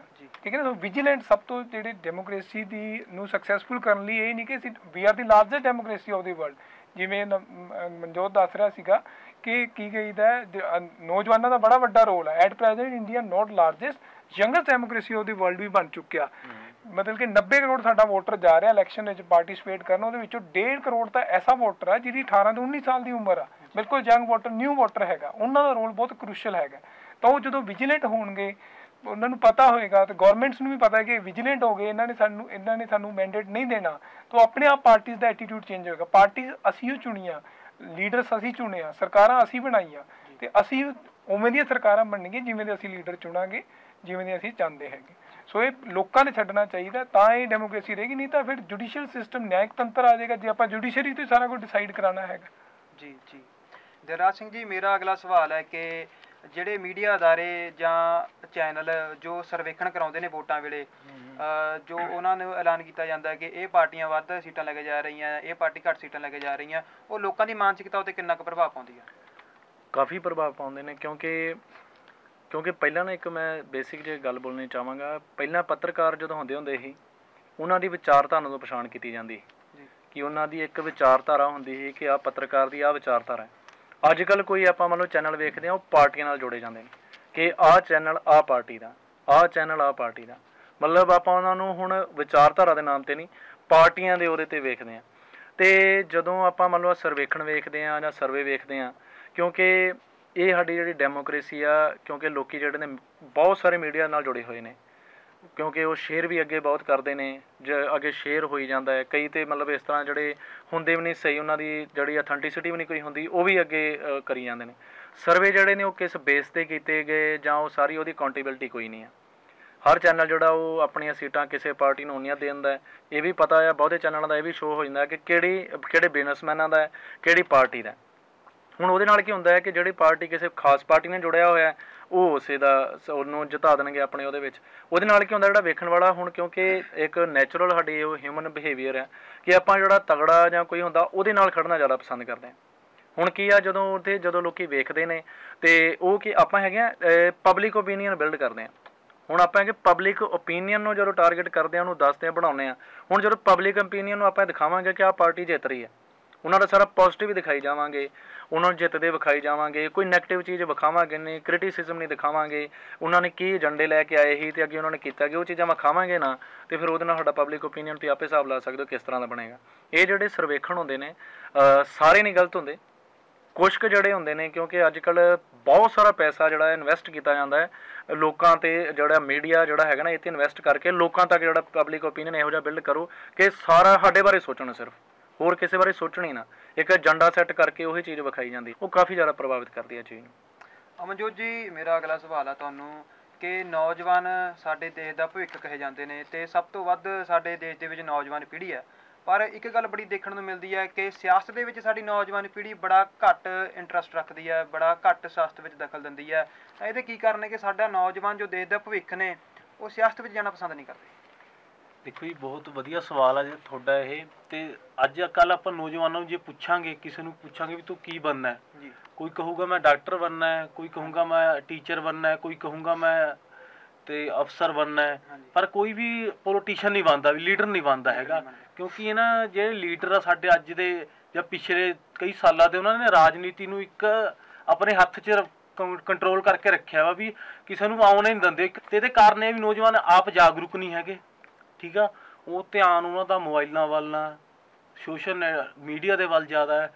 ਇੱਕ ਚੀਜ਼ ਨੂੰ ਭੜਕਾਊ ਚੀਜ਼ਾਂ ਦੇ ਵੱਲ ਜ਼ਿਆਦਾ ਹੈ। ਵੀ ਇਹ ਵੀ ਕੋਈ ਸਹੀ ਚੀਜ਼ ਦੇਖ, ਜਿਵੇਂ ਇੱਕ ਚੀਜ਼ ਆ ਗਈ, ਗਲਤ ਉਹਨੂੰ ਗਲਤ ਦੇਖੀ, ਸਭ ਨੇ ਸ਼ੇਅਰ ਕਰੀ ਜਾਣਾ ਲਗਾਤਾਰ। ਇਹਨੂੰ ਰਿਜ਼ਲਟ ਨਹੀਂ ਕੱਢਣਾ ਵੀ ਇਹ ਗਲਤ ਆ ਕਿ ਸਹੀ ਆ। ਇਹਦੇ ਵਿੱਚ ਇਹ ਸਾਰੇ ਲੀਡਰ ਆਪਣੇ ਹੀ ਚਹੇਤਿਆਂ ਨੂੰ, ਆਪਣੇ ਅੱਗੇ ਲਿਆ ਰਹੇ ਰਾਜ- ਰਾਜਨੀਤੀ ਦੇ ਵਿੱਚ ਜਿਸ ਦੇ ਕਾਰਨ ਆਪਣੇ ਦੇਸ਼ ਵਿੱਚੋਂ ਵਧੀਆ ਲੀਡਰ ਨਹੀਂ ਨਿਕਲ ਰਹੇ ਹੈਗੇ। ਤੇ ਤੇ ਮੈਂ ਅਖੀਰ ਵਿੱਚ ਇਹੀ ਕਹੂੰਗਾ ਵੀ ਜਿਹੜੇ ਇਹ ਰਾਜਨੀਤੀ ਵਿੱਚ ਨਾ ਆਉਣ ਦਾ ਕਾਰਨ ਸਭ ਤੋਂ ਵੱਧ ਇਹ ਰਾ- ਸਾਡੇ ਰਾਜਨੀਤਿਕ ਲੀਡਰ ਨੇ, ਜਿਹੜੇ ਨੌਜਵਾਨ ਨੂੰ ਨਹੀਂ ਲਿਆਉਣਾ ਚਾਹੁੰਦੇ। ਡਾਕਟਰ ਸਾਹਿਬ, ਅਗਲਾ ਮੇਰਾ ਸਵਾਲ ਤੁਹਾਨੂੰ ਹੈ ਕਿ ਅ- ਅਕਸਰ ਅਕਸਰ ਦੇਖਣ ਨੂੰ ਮਿਲਦਾ ਹੈ ਕਿ ਸਾਡੇ ਲੋਕਾਂ ਨੂੰ ਉਹ ਬਦਲ ਨਹੀਂ ਪਸੰਦ ਕਰਦੇ। ਜਾਂ ਇੱਕ ਪਾਰਟੀ ਜਿੱਤ ਗਈ, ਅਗਲੀ ਵਾਰ ਸੱਤਾ ਦੂਸਰੀ ਪਾਰਟੀ ਆਵੇਗੀ, ਫਿਰ ਪਹਿਲੀ ਪਾਰਟੀ ਆਵੇਗੀ। ਸਾਡੇ ਲੋਕ ਪਾਰਟੀਆਂ ਨੂੰ ਨਿੰਦੀ ਤਾਂ ਜ਼ਰੂਰ ਜਾਂਦੇ ਹਨ, ਸਰਕਾਰਾਂ ਨੂੰ ਨਿੰਦੀ ਤਾਂ ਜ਼ਰੂਰ ਜਾਂਦੇ ਹਨ, ਅਕਸਰ ਦੇਖਣ ਨੂੰ ਇਹ ਗੱਲ ਮਿਲ ਰਹੀ ਹੈ ਕਿ ਸਰਕਾਰ ਆਪਣੇ ਵਾਅਦੇ ਨਹੀਂ ਪੂਰੇ ਕਰ ਰਹੀਆਂ, ਪਰ ਵੋਟ ਵੀ ਉਹਨਾਂ ਪਾਰਟੀਆਂ ਨੂੰ ਹੀ ਪਾਉਂਦੇ ਨੇ। ਯਾਨੀ ਕਿ ਨੋਟਾਂ ਦਾ ਸਾਡੇ ਕੋਲ, ਨੋਟਾਂ ਹੋਣ ਦੇ ਬਾਵਜੂਦ ਵੀ ਅਸੀਂ ਉਹਦੀ ਵਰਤੋਂ ਨਹੀਂ ਕਰ ਰਹੇ, ਇਹਦੇ ਕੀ ਕਾਰਨ ਹੈ ਜਿਵੇਂ ਕਿ ਅਮਨਜੋਤ ਨੇ ਕਿਹਾ ਕਿ ਜਾਗਰੂਕਤਾ ਦੀ ਘਾਟ ਹੈ ਜਾਂ ਫਿਰ ਲੋਕ ਮਜਬੂਰੇ ਹੋ ਗਏ? ਨਹੀਂ, ਮੈਂ ਇਹ ਹੀ ਮੰਨਦਾ ਕਿ ਇੱਕ ਤਾਂ ਜਾਗਰੂਕਤਾ ਦੀ ਬਹੁਤ ਘਾਟ ਆ। ਕਿਤੇ ਨਾ ਕਿਤੇ ਸਾਨੂੰ ਕਰਨਾ ਕੀ ਹੋਏਗਾ ਕਿ ਸਾਨੂੰ ਦੇਖਣਾ ਇਹ ਪਏਗਾ ਕਿ ਅਸੀਂ ਜਦੋਂ ਵੋਟ ਪਾਉਣ ਲੱਗੇ ਆ ਉਹਦੇ 'ਚ ਸਾਡਾ ਕੈਂਡੀਡੇਟ ਕਿਹੜਾ? ਉਹਦੀ ਕੀ ਕੁਆਲੀਫਿਕੇਸ਼ਨ ਆ? ਉਹਦਾ ਕੀ ਟਰੈਕ ਰਿਕਾਰਡ ਹੈਗਾ? ਉਹ ਕੀ ਕਰ ਸਕਦਾ? ਉਹਦਾ ਕੀ ਵਿਜ਼ਨ ਆ? ਕੀ ਵਿਚਾਰਧਾਰਾ? ਜਿਵੇਂ ਮੈਂ ਤੁਹਾਨੂੰ ਤੁਸੀਂ ਸ਼ੁਰੂ 'ਚ ਮੇਰੇ ਤੋਂ ਪੁੱਛਿਆ, ਕਿਹੜੇ ਮੁੱਦੇ ਰਹਿਣਗੇ? ਮੈਂ ਤੁਹਾਨੂੰ ਰਿਐਲਿਟੀ ਦੱਸੀ ਕਿ ਆਹ ਮੁੱਦੇ ਰਹਿਣਗੇ। ਜਦੋਂ ਕਿ ਅਸਲ 'ਚ ਹੋਣਾ ਇਹ ਚਾਹੀਦਾ ਮੇਨ ਮੁੱਦਾ ਐਜੂਕੇਸ਼ਨ ਦਾ ਬੰਨਣਾ ਚਾਹੀਦਾ। ਮੇਨ ਮੁੱਦਾ ਹੈਲਥ ਦਾ ਬਣਨਾ ਚਾਹੀਦਾ ਪਰ ਉਹ ਸਾਡੇ ਦੇਸ਼ ਦੀ ਤਰਾਸਦੀ ਆ ਕਿ ਇੰਨੀਆਂ ਇਲੈਕਸ਼ਨ ਹੋ ਗਈਆਂ 17ਵੇਂ ਲੋਕ ਸਭਾ ਇਲੈਕਸ਼ਨ ਅਸੀਂ ਕਰਾਉਣ ਜਾ ਰਹੇ ਹਾਂ ਉਹ ਕਦੀ ਮੁੱਦਾ ਹੀ ਨਹੀਂ ਬਣ ਸਕਿਆ। ਜਿਹੜਾ ਬੇਸਿਕ ਮੁੱਦਾ ਉਹਦੇ ਪਿੱਛੇ ਕੀ ਆ? ਪੋਲਿਟਿਕਸ ਇਦਾਂ ਦੀ ਚਲਾਈ ਜਾਂਦੀ ਆ। ਕਿਤੇ ਨਾ ਕਿਤੇ ਅਸੀਂ ਵੀ ਜ਼ਿੰਮੇਵਾਰ ਆ ਕਿਉਂਕਿ ਅਸੀਂ ਉਹ ਮੁੱਦੇ ਉਠਾਉਂਦੇ ਹੀ ਨਹੀਂ। ਅਸੀਂ ਉਹ ਪੋਪੂਲਿਜ਼ਮ ਦੀ ਪੋਲਿਟਿਕਸ ਦੇ ਪਿੱਛੇ ਭੱਜ ਲੈਂਦੇ ਆ ਕਿ ਆਹ ਚੀਜ਼ ਸਾਨੂੰ ਫ੍ਰੀ ਮਿਲ ਜੇਗੀ ਆਹ ਚੀਜ਼ ਆ ਦੇ ਦੇਗੀ ਉਹਦੇ ਮਗਰ ਲੱਗ ਜਾਂਦੇ ਆ ਲੋੜ ਇਸ ਗੱਲ ਦੀ ਆ ਕਿ ਅਸੀਂ ਸਾਡਾ ਘੱਟੋ ਘੱਟ ਜਿਹੜਾ ਇੱਕ ਕੈਂਡੀਡੇਟ ਮੇਰੇ ਕੋਲ ਆ ਰਿਹਾ ਸਾਡੀ ਕਨਸਟੀਚੁਐਂਸੀ 'ਚ ਆ ਮੈਨੂੰ ਉਹਦਾ ਸਾਰਾ ਪਤਾ ਹੋਵੇ ਮੈਂ ਉਹਨੂੰ ਦੇਖ ਕੇ ਵੋਟ ਪਾਵਾਂ। ਅਸੀਂ ਉੱਥੇ ਵੀ ਕਰਦੇ ਹਾਂ ਕਿ ਉਸ ਪਾਰਟੀ ਦੀ ਪਾਰਟੀ ਕਿਹੜੀ ਆ ਉਹਦੀ ਵਿਚਾਰਧਾਰਾ ਨਹੀਂ ਦੇਖਣੀ ਉਹਦੇ ਵਿੱਚ ਸਾਡਾ ਪਰਸਨੈਲਿਟੀ ਕਲਟ ਆ ਕਿ ਕਿਹੜਾ ਉਹਦਾ ਲੀਡਰ ਆ। ਅਸੀਂ ਉਹਦੇ ਲੀਡਰ ਦੇ ਫੈਨ ਬਣ ਰਹੇ ਹਾਂ। ਸਾਨੂੰ ਲੀਡਰ ਦੇ ਫੈਨ ਬਣਨ ਦੀ ਲੋੜ ਨਹੀਂ। ਸਾਨੂੰ ਉਹਨਾਂ ਦੇ ਵਿੱਚ ਮਤਲਬ ਕਿ ਚੰਗੇ ਲੀਡਰ ਤਰਾਸ਼ਣ ਦੀ ਲੋੜ ਆ। ਔਰ ਨਵੇਂ ਬਦਲ ਵੀ ਲਿਆਉਣ ਦੀ ਲੋੜ ਹੈਗੀ ਆ। ਕਿਉਂਕਿ ਜਦੋਂ ਇਹ ਨਵੇਂ ਬਦਲ ਆਣਗੇ ਤਾਂ ਹੀ ਟ੍ਰੈਡੀਸ਼ਨਲ ਪਾਰਟੀਆਂ ਨੂੰ ਇਹ ਲੱਗੇਗਾ ਕਿ ਲੋਕ ਹੁਣ ਬਦਲਾਅ ਚਾਹੁੰਦੇ ਆ ਤੇ ਇਹ ਆਪਣੇ ਆਪ ਨੂੰ ਚੇਂਜ ਕਰਨਗੀਆਂ। ਪ੍ਰੋਫੈਸਰ ਸਾਹਿਬ ਮੀਡੀਆ ਨੂੰ ਕਿਸ ਤਰ੍ਹਾਂ ਆਪਣਾ ਰੋਲ ਅਦਾ ਕਰਨਾ ਚਾਹੀਦਾ ਹੈ? ਮੀਡੀਆ ਕਿਸ ਤਰ੍ਹਾਂ ਲੋਕਾਂ ਦੇ ਮੁੱਦੇ ਚੱਕ ਸਕ- ਸਕਦਾ ਹੈ ਤੇ ਉਹ ਕਿਸ ਤਰ੍ਹਾਂ ਆਪਣੀ ਭੂਮਿਕਾ ਸਹੀ ਤੌਰ ਤੇ ਨਿਭਾ ਸਕਦਾ ਹੈ ਤਾਂ ਜੋ ਇੱਕ ਚੰਗੇ ਲੋਕਤੰਤਰ ਦੀ ਸਥਾਪਨਾ ਕੀਤੀ ਜਾਵੇ। ਪਹਿਲੀ ਗੱਲ ਇਹ ਹੈ ਕਿ ਸਾਡਾ ਜੋ ਪੱਤਰਕਾਰਾਂ ਦਾ ਕੰਮ ਹੈ, ਸਭ ਤੋਂ ਪਹਿਲਾ ਤੇ ਜੋ ਸਾਡਾ, ਮਤਲਬ ਸਾਡਾ ਬੇਸਿਕ ਜਿਹੜਾ ਕੰਮ ਹੈ, ਉਹ ਹੈਗਾ ਲੋਕਾਂ ਤੱਕ ਉਹ ਇਨਫੋਰਮੇਸ਼ਨ ਜਾਂ ਉਹ ਸੂਚਨਾ ਪਹੁੰਚਾਉਣਾ ਜੋ ਉਹਨਾਂ ਦੇ ਹਿੱਤਾਂ ਦੇ ਵਾਸਤੇ ਸਭ ਤੋਂ ਜ਼ਿਆਦਾ ਜ਼ਰੂਰੀ ਹੈ। ਕਿ ਆਪਾਂ ਜਿਸ ਤਰ੍ਹਾਂ ਆਪਾਂ ਪਹਿਲੀ ਬੇਸਿਕ ਜੀ ਗੱਲ ਕਰਦੇ ਹਾਂ ਕਿ ਬੇਆਵਾਜ਼ ਲੋਕਾਂ ਦੀ ਆਵਾਜ਼ ਹੈ। ਇੱਥੋਂ ਹੀ ਆ ਜਿਹੜੇ ਜੋ ਵੀ ਪੋਲੀਟੀਕਲੀ ਸਟਰਕਚਰ ਆ ਜਾਂ ਜਿੰਨਾ ਵੀ ਸਟਰਕਚਰ ਆ, ਉਹ ਸਾਡੇ ਇੱਥੋਂ ਹੀ ਨਿਕਲਿਆ ਸਾਡੀ ਪਹਿਲਾਂ ਕੁਝ ਲੋਕਾਂ ਜਦੋਂ, ਕਿਉਂਕਿ ਸਾਰੇ ਲੋਕੀ ਜਿਹੜੇ ਨੇ ਕੁਛ ਨਾ ਕੁਛ ਸੋਚਦੇ ਨੇ, ਪਰ ਕਹਿ ਨਹੀਂ ਪਾਉਂਦੇ। ਹੁਣ ਸੰਵਿਧਾਨਕ ਤੌਰ ਤੇ ਜਿਹੜਾ ਆਰਟੀਕਲ 191 ਏ ਆ freedom of speech and expression ਦਾ ਜਿਹੜਾ ਨੂੰ ਰਾਈਟ ਦਿੱਤਾ ਗਿਆ ਫੰਡਾਮੈਂਟਲ ਰਾਈਟ ਦਿੱਤਾ ਗਿਆ, ਉੱਥੋਂ ਹੀ ਜਿਹੜੇ ਸਾਡੇ ਨੇ ਜ- ਸਾਡੀ ਜਰਨਲਿਜ਼ਮ ਨੇ ਜਨਮ ਲਿਆ ਕਿ ਸਾਨੂੰ ਪੱਤਰਕਾਰਾਂ ਨੂੰ ਜਿਹੜਾ ਆ, ਉਹ ਇਹ ਰਾਈਟ ਨੂੰ ਸਭ ਤੋਂ ਜ਼ਿਆਦਾ ਐਕਸਰਸਾਈਜ਼ ਕਰਦੇ ਨੇ। ਪਰ ਸਮੱਸਿਆ ਕੀ ਹੋ ਗਈ ਕਿ ਆਪਾਂ ਜਿਹੜੀ ਆਪਣੀ ਆਵਾਜ਼ ਆ, ਮਤਲਬ ਪਹਿਲਾਂ ਨਾ ਇੱਕ ਨਾਰਾ ਲੱਗਦਾ ਹੁੰਦਾ ਸੀ ਕਿ ਜੇ ਕਲਮ ਨਾ ਰੁਕਣੀ ਚਾਹੀਏ, ਨਾ ਝੁਕਣੀ ਚਾਹੀਏ, ਨਾ ਵਿਕਣੀ ਚਾਹੀਏ। ਹੁਣ ਕੀ ਹੈ ਤਿੰਨੇ ਚੀਜ਼ਾਂ ਹੋ ਰਹੀਆਂ ਨੇ। ਰੁਕ ਵੀ ਰਹੀ ਆ, ਝੁਕ ਵੀ ਰਹੀ ਆ, ਵਿਕ ਵੀ ਰਹੀ ਆ। ਇਹ ਸਾਡੇ ਵਾਸਤੇ ਬਹੁਤ ਨਿਰਾਸ਼ਾਜਨਕ ਜਿਹੜਾ ਦੌਰ ਆ ਗਿਆ। ਇੱਥੇ ਹੁਣ ਮੰਨ ਲਓ ਆਪਾਂ ਇੱਕ ਮੀਡੀਆ ਨਾ ਇੰਟਰਨੈਸ਼ਨਲ ਮੀਡੀਆ ਵੀ ਹੈਗਾ ਆਪਣਾ ਨੈਸ਼ਨਲ ਮੀਡੀਆ ਵੀ ਆ ਇਹ ਨਹੀਂ ਮੈਂ ਕਹਿੰਦਾ ਕਿ ਸਾਰੇ ਹੀ ਬਾ- ਮਾੜੇ ਹੋ ਗਏ ਨੇ ਬਹੁਤ ਵਧੀਆ ਸਾਡੇ ਕੋਲ ਪੱਤਰਕਾਰ ਪਏ ਹੋਏ ਨੇ ਜਿਹੜੇ ਜਦੋਂ ਲਿਖਦੇ ਨੇ ਜਦੋਂ ਉਹਨਾਂ ਦੀ ਕਲਮ ਚੱਲਦੀ ਆ ਜਦੋਂ ਆਪਣੇ ਵਿਚਾਰ ਪੇਸ਼ ਕਰਦੇ ਨੇ ਤੇ ਉਹ ਵਾਕਈ ਮਤਲਬ ਇੰਨੀ ਜ਼ਿਆਦਾ ਜੇ ਉਹਨਾਂ ਨੂੰ ਲੋਕੀ ਪੜ੍ਹਨ ਤੇ ਉਹਨਾਂ ਨੂੰ ਲੱਗਦਾ ਉਹ ਸ਼ਾਇਦ ਹੈਰਾਨ ਰਹਿ ਜਾਣਗੇ ਕਿ ਉਹ ਕਿੰਨੇ ਆਪਣੇ ਸਾਲ ਡਿਵੋਟ ਕਰਦੇ ਨੇ ਰਿਸਰਚ ਕਰਨ ਵਿੱਚ ਇੱਕ ਪਬਲਿਕ ਓਪੀਨੀਅਨ ਇੱਕ ਵੱਖਰੀ رائے ਦੇਣ ਵਾਸਤੇ ਵਧੀਆ ਲੋਕਤੰਤਰ ਬਣਾਉਣ ਵਾਸਤੇ رائے ਦਿੰਦੇ ਨੇ ਜਿਹੜਾ ਮੀਡੀਆ ਇਸ ਟਾਈਮ ਮੀਡੀਆ ਨੂੰ ਪਤਾ ਕੀ ਆ ਉਹ ਲੋਕਾਂ ਦੀ ਜ਼ਰੂਰਤ ਆ ਜਿਹੜੇ ਵਿਸ਼ੇਸ਼ਕ ਹੋਣ ਤੇ ਵਿਸ਼ੇਸ਼ਕ ਹੋਣ ਦੇ ਨਾਲ ਨਾਲ ਐਕਸ਼ਨ ਵੀ ਇਸ ਤਰ੍ਹਾਂ ਦੇ ਕਰਨ ਜਿਹਨਾਂ ਸਮਾਜਿਕ ਬਦਲਾਅ ਆਏ। ਸਿਰਫ ਉਹ ਆਪਣੇ ਵਿਚਾਰ ਹੀ ਨਾ ਪੇਸ਼ ਕਰਨ। ਲੋਕਾਂ ਨੂੰ ਅਗ- ਨਾਲ ਲੈ ਕੇ ਚੱਲਣ, ਕਿਉਂਕਿ ਡੈਮੋਕ੍ਰੇਸੀ ਆ। ਆਪਾਂ ਲੋਕਾਂ ਨੂੰ ਨਾਲ ਲੈ ਕੇ ਚੱਲਣਾ ਹੈ। ਲੋਕਾਂ ਦੀ ਆਵਾਜ਼ ਜਿਹੜੀ ਆ ਸਰਕਾਰ ਤੱਕ ਪਹੁੰਚਾਉਣੀ ਹੈ ਸਰਕਾਰ ਜਿਹੜੀ ਸਹੀ ਨੀਤੀ ਬਣਾ ਰਹੀ ਹੈ ਉਹਨੂੰ ਲੋਕਾਂ ਤੱਕ ਪਹੁੰਚਾਉਣਾ। ਅਗਰ ਮਾੜੀ ਨੀਤੀ ਬਣਾ ਰਹੀ ਹੈ ਤੇ ਉਹਦਾ ਵੀ ਕਟਾਕਸ਼ ਕਰਕੇ ਉਹਨਾਂ ਨੇ ਕਹਿਣਾ ਕਿ ਇਹ ਚੀਜ਼ ਬਦਲੋ। ਕਿ ਆਪਾਂ ਜਿਹੜੇ, ਕਿਉਂਕਿ ਲੋਕੀ, ਕਿਉਂਕਿ ਪਤਾ ਕਿ ਜਿਹੜਾ ਸਿਸਟਮ ਚੱਲ ਰਿਹਾ, ਨਿਰਾਸ਼ਾਜਨਕ ਦੌਰ ਸਿਰਫ ਮੀਡੀਆ ਵਿੱਚ ਨਹੀਂ, ਸਾਡੇ ਸਮਾਜਿਕ ਹਾਲਾਤ, ਸਾਡੇ ਮਾਨਸਿਕ ਹਾਲਾਤ, ਸਾਰੇ ਸਾਡੇ ਐਜੂਕੇਸ਼ਨ ਦੇ ਹਾਲਾਤ, ਸਾਡੇ ਹੈਲਥ ਦੇ ਹਾਲਾਤ ਸਾਰੇ ਬੜੇ ਖਰਾਬ ਚੱਲ ਰਹੇ ਨੇ। ਤੇ ਇਹ ਇਹੋ ਜਿਹੇ ਦੌਰ ਦੇ ਵਿੱਚ ਇੱਕ ਮੀਡੀਆ ਇੱਕ ਆਸ ਆ। ਹੁਣ ਕਿੰਨੇ ਤਰ੍ਹਾਂ ਦੇ ਮੀਡੀਆ ਚੱਲ ਰਹੇ ਨੇ ਸੋਸ਼ਲ ਮੀਡੀਆ ਕਿੰਨੀ ਵੱਡੀ ਪਾਵਰ ਬਣ ਗਿਆ ਸਿਟੀਜ਼ਨ ਜਰਨਲਿਜ਼ਮ ਨੂੰ ਜਿਹਨੇ ਜਨਮ ਦਿੱਤਾ। ਕਿ ਇੱਕ ਮਤਲਬ ਹੁਣ ਸਾਡੇ ਕੋਲ ਮੋਬਾਈਲ ਆ ਕੈਮਰਾ ਆ। ਆਪਾਂ ਵੀ ਰਿਕਾਰਡ ਕਰ ਸਕਦੇ ਹਾਂ ਕੋਈ ਚੀਜ਼ ਗਲਤ ਹੋ ਰਹੀ ਹੈ। ਟਵਿੱਟਰ ਹੈ ਸਾਡੇ ਕੋਲ ਕਿ ਆਪਾਂ ਟਵੀਟ ਕਰ ਸਕਦੇ ਹਾਂ ਪੀ- ਆਪਾਂ ਆਪਣੇ ਪ੍ਰਾਈਮ ਮਿਨਿਸਟਰ ਤੱਕ ਸਿੱਧੀ ਗੱਲ ਪਹੁੰਚਾ ਸਕਦੇ ਹਾਂ। ਕਿ ਉਹ ਵੀ ਉਹ ਸਾਡੇ ਜਿਹੜੇ ਸੋਸ਼ਲ ਮੀਡੀਆ ਤੇ ਆਪਾਂ ਕੁਝ ਪਾਉਂਦੇ ਆ ਉਹ ਵੀ ਉਹ ਆਪਣੇ ਸਾਡੀ ਚੀਜ਼ ਦੇਖਦੇ ਨੇ ਤੇ ਰਿਐਕਟ ਕਰਦੇ ਨੇ। ਤੇ ਮੈਨੂੰ ਲੱਗਦਾ ਹੈ ਕਿ ਇਸ ਟਾਈਮ ਮੀਡੀਆ ਜਦੋਂ ਮਤਲਬ ਮੈਂ ਇਹ ਚੀਜ਼ ਸੁਣਦਾ ਮੇਰੇ ਦਿਮਾਗ 'ਚ ਸਿਰਫ ਇਹ ਨਹੀਂ ਚੀਜ਼ ਆਉਂਦੀ ਕਿ ਅਖਬਾਰ ਜਾਂ ਟੈਲੀਵਿਜ਼ਨ ਮੇਰੇ ਦਿਮਾਗ 'ਚ ਆਉਂਦਾ ਸੋਸ਼ਲ ਮੀਡੀਆ ਵੀ ਉਨੀ ਵੱਡੀ ਭੂਮਿਕਾ ਨਿਭਾ ਰਿਹਾ ਹੁਣ ਇਸ ਟਾਈਮ ਜ਼ਰੂਰਤ ਆ ਕਿ ਜਿੰਨੇ ਵੀ ਚੈਨਲ ਨੇ, ਕਿਉਂਕਿ ਆਪਾਂ ਆਮ ਲੋਕ ਜਿਹੜੇ ਆ ਉਹ ਪੱਤਰਕਾਰਾਂ ਤੇ ਬੜਾ ਭਰੋਸਾ ਕਰਦੇ ਆ ਆਪਾਂ ਉਹਨਾਂ ਨੂੰ ਇਹ ਮੰਨਦੇ ਨੇ ਕਿ ਉਹ ਜਾਗਿਆ ਹੋਇਆ ਨਾਗਰਿਕ ਹੈ। ਅਗਰ ਜਾਗਿਆ ਹੋਇਆ ਨਾਗਰਿਕ ਆਪਣੀ ਜ਼ਮੀਰ ਨੂੰ ਵੇਚ ਦੇਗਾ ਨਹੀਂ ਉਹ ਸਹੀ ਤਰੀਕੇ ਨਾਲ ਕੰਮ ਕਰੇਗਾ, ਤੇ ਤੁਸੀਂ ਇਮੇਜਿਨ ਕਲਪਨਾ ਕਰ ਸਕਦੇ ਹੋ ਕਿਹੋ ਜਿਹਾ ਸਮਾਜ ਬਣੇਗਾ। ਅਗਰ ਉਹ ਆਪਣਾ ਜ਼ਿੰਮੇਵਾਰੀ ਨਾਲ ਕੰਮ ਕਰਨ, ਉਹ ਸਰਕਾਰ ਨੂੰ ਪੁੱਛਣਗੇ ਤੁਸੀਂ ਇਹ ਚ ਕੰਮ ਕਿਉਂ ਕੀਤਾ ਫਿਰ ਕਿੰਨਾ ਸੋਹਣਾ ਸਮਾਜ ਬਣੇਗਾ, ਕਿੰਨਾ ਜ਼ਿਆਦਾ ਵਿਕਾਸ ਸਾਡੇ ਦੇਸ਼ ਵਿੱਚ ਹੋਏਗਾ। ਸਾਡਾ ਦੇਸ਼ ਵੀ ਬਹੁਤ ਬਿਹਤਰ ਬਣ ਸਕਦਾ ਹੈ। ਦੁਨੀਆ ਦਾ ਜੇ ਯੰਗੈਸਟ ਕੰਟਰੀ ਜਾਂ ਲਾਰਜੈਸਟ ਡੈਮੋਕ੍ਰੇਸੀ ਆਪਾਂ ਕਹਿ ਰਹੇ ਹਾਂ, ਤੇ ਜੇ ਆਪਾਂ ਇਹੋ ਹੀ ਜੇ ਇਹਨੂੰ ਕਨਵਰਟ ਕਰਕੇ ਬਣਾ ਦਈਏ ਕਿ ਐਜੂਕੇਟਿਡ ਡੈਮੋਕ੍ਰੇਸੀ ਇੰਨੇ ਜਿਹੜਾ ਪੜ੍ਹੇ ਲਿਖੇ ਨੌਜਵਾਨ ਨੇ ਸਾਡੇ ਕੋਲ। ਜਾਂ ਆਪਾਂ ਜਿਹੜਾ ਸਾਡੇ ਬ੍ਰੇਨ ਡਰੇਨ ਚੱਲ ਰਿਹਾ ਹੈ ਕਿ ਪੜ੍ਹੇ ਲਿਖੇ ਨੌਜਵਾਨ ਫੋਰਨ ਚ ਜਾ ਰਹੇ ਨੇ, ਲੱਖਾਂ ਉਹਨਾਂ ਨੂੰ ਪੈਸੇ ਦੇ ਰਹੇ ਨੇ, ਆਪਾਂ ਨਹੀਂ ਅਫੋਰਡ ਕਰ ਪਾ ਰਹੇ ਉਹਨਾਂ ਨੂੰ। ਜਿਹੜੀ ਸਰਕਾਰ ਐਜੂਕੇਸ਼ਨ ਤੇ ਹੈਲਥ ਨੂੰ ਸੁਧਾਰ ਲੇ ਤੇ ਬੜੇ ਵੱਡੇ ਬਦਲਾਅ ਆ ਸਕਦੇ ਨੇ। ਡਾਕਟਰ ਸਾਹਿਬ, ਮੇਰਾ ਅਗਲਾ ਸਵਾਲ ਹੈ ਕਿ ਸਾਡੇ ਦੇਸ਼ ਦੇ ਵਿੱਚ ਸਭ ਤੋਂ ਵੱਡਾ ਲੋਕਤੰਤਰ ਹੈ ਤੇ ਵੋਟਾਂ ਨੂੰ ਕਰਾਉਣ ਲੱਗੇ ਬਹੁਤ ਜ਼ਿਆਦਾ ਸਮਾਂ ਅਤੇ ਪੈਸਾ ਖਰਚ ਹੁੰਦਾ ਹੈ। ਤੇ ਰਾਜ ਵਿਧਾਨ ਸਭਾ ਦੀਆਂ ਚੋਣਾਂ ਅਤੇ ਲੋਕ ਸਭਾ ਦੀਆਂ ਚੋਣਾਂ ਵੱਖ-ਵੱਖ ਸਮੇਂ ਹੁੰਦੀਆਂ ਨੇ। ਤੁਹਾਨੂੰ ਨਹੀਂ ਲੱਗਦਾ ਕਿ ਇਹ ਚੋਣਾਂ ਨੂੰ ਇੱਕੋ ਸਮੇਂ ਕਰਵਾਇਆ ਜਾ ਸਕੇ? ਸਾਡੇ ਪ੍ਰਧਾਨ ਮੰਤਰੀ ਜੀ ਨੇ ਵੀ ਕਿਹਾ ਸੀਗਾ ਕਿ ਵਨ ਨੇਸ਼ਨ ਵਨ ਇਲੈਕਸ਼ਨ ਹੋਣੀ ਚਾਹੀਦੀ ਹੈ। ਤਾਂ ਇਸ ਦੇ ਨਾਲ ਪੈਸੇ ਅਤੇ ਸਮੇਂ ਦੀ ਬਚਤ ਕੀਤੀ ਜਾ ਸਕਦੀ ਹੈ। ਇਸ 'ਚ ਕੋਈ ਡਾਊਟ ਨਹੀਂ ਹੈਗਾ ਕਿ ਸਾਡੇ ਇਲੈਕਸ਼ਨ ਤੇ ਬਹੁਤ ਪੈਸਾ ਖਰਚ ਹੁੰਦਾ ਜਿਹੜੀਆਂ ਇਲੈਕਸ਼ਨ ਹੋਣ ਜਾ ਰਹੀਆਂ ਨੇ, ਮੈਂ ਉਹਦਾ ਡਾਟਾ ਪੜ੍ਹ ਰਿਹਾ ਸੀ। ਤੁਸੀਂ election commission 10 lakh booth polling stations ਬਣੇ ਆ ਸਾਡੇ। ਵਰਲਡ ਰਿਕਾਰਡ ਆ ਇਹਦੇ ਵਿੱਚ ਹੈ ਨਾ ਪਰ ਸਾਨੂੰ ਇਹ ਦੇਖਣਾ ਪਏਗਾ ਕਿ ਇੰਡੀਆ ਐਡਾ ਵੱਡਾ ਕੰਟਰੀ ਆ ਤਾਂ ਨੈਚੁਰਲੀ ਹੈਗਾ ਉੱਤੇ ਫਿਰ ਜਿਹੜਾ ਮਤਲਬ ਕਿ 90 ਕਰੋੜ ਸਾਡੇ ਵੋਟਰ ਉਹਦੇ 'ਚ ਪਾਰਟਿਸਿਪੇਟ ਕਰਨੇ ਆ ਤਾਂ ਖਰਚ ਤਾਂ ਆਏਗਾ। ਹੁਣ ਜਿਹੜੀ ਇਹ ਗੱਲ ਵਨ ਨੇਸ਼ਨ ਵਨ ਇਲੈਕਸ਼ਨ ਲੱਗਦਾ ਤਾਂ ਬੜਾ ਚੰਗਾ ਵੀ ਇਕੱਠੇ ਕਰਵਾ ਦਈਏ।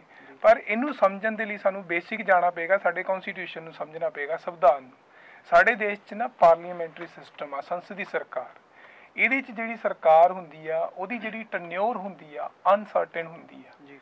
ਕਦੋਂ ਤੱਕ ਸਰਕਾਰ ਆਪਣੀ ਪਦਵੀ ਤੇ ਰਹਿੰਦੀ ਆ ਜਦੋਂ ਤੱਕ ਉਹਨੂੰ ਬਹੁਮਤ ਮਿਲਿਆ ਰਹਿੰਦਾ ਮੈਜੋਰਟੀ ਮਿਲੀ ਰਹਿੰਦੀ ਹੈਗੀ ਅਗਰ ਮੈਜੋਰਟੀ ਉਹ ਗਈ ਤਾਂ 5 ਸਾਲ ਤੋਂ ਪਹਿਲਾਂ ਮੈਕਸਿਮਮ ਟਾਈਮ ਹੁੰਦਾ ਉਹਦਾ ਹਾਊਸ ਦਾ ਚਾਹੇ ਉਹ ਲੋਕ ਸਭਾ ਦਾ ਵਿਧਾਨ ਸਭਾ ਦਾ 5 ਇਅਰ 5 ਸਾਲ ਤੱਕ ਰਹਿੰਦੀ ਆ।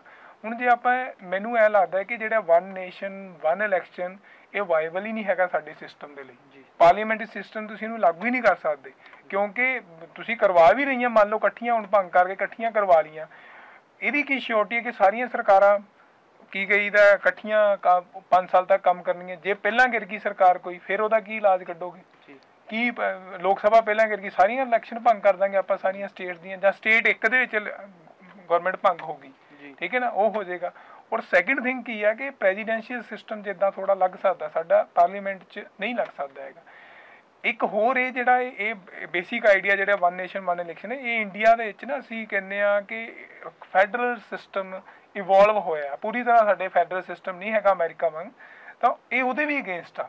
ਕਿਉਂਕਿ ਸਟੇਟਸ ਦੀ ਫਿਰ ਤਾਂ ਆਟੋਨਮੀ ਖਤਮ ਹੋ ਜਾਏਗੀ। ਸਟੇਟਸ ਦਾ ਅੱਗੇ ਹੀ ਸਾਡਾ ਫੈਡਰਲ ਸਟਰਕਚਰ ਬੜੇ ਇੱਕ ਕ੍ਰੂਸ਼ੀਅਲ ਕਿਹਦਾ ਪੀਰੀਅਡ ਚੋਂ ਨਿਕਲ ਰਿਹਾ।